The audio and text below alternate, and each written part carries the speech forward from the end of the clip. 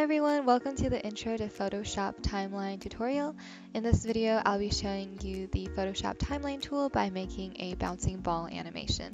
So here I am for setting up my canvas. I use the Ellipse tool to make myself a circle that will be my ball.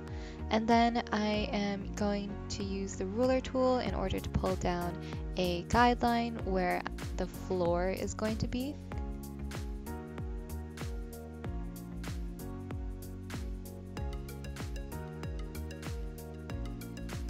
Once I like that, I'm going to duplicate that layer to make my second frame.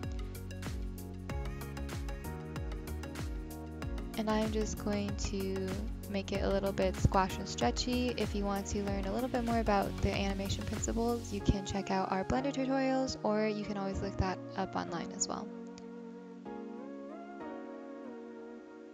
My middle one is going to be the most distant from the other frames and it's going to be more stretchy.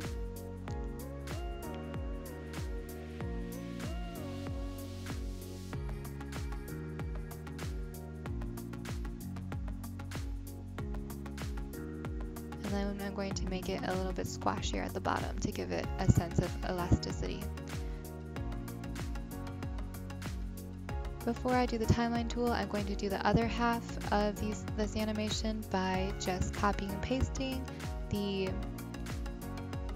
layers and then rearranging them. So these layers are going to animate in order. So you think about how you can mirror that motion. Then you can go to the timeline tool by going to Windows Timeline, selecting all of your layers and then going to the little three dashes on the side and then going to frames from layers.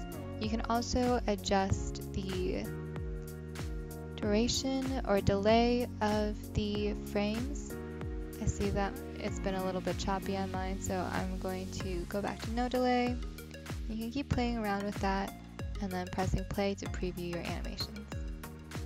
Then we can export by going to export and save for web and then we can save this as a GIF.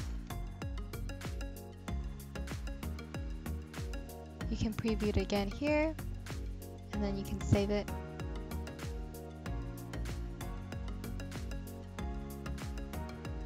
And this is what it looks like.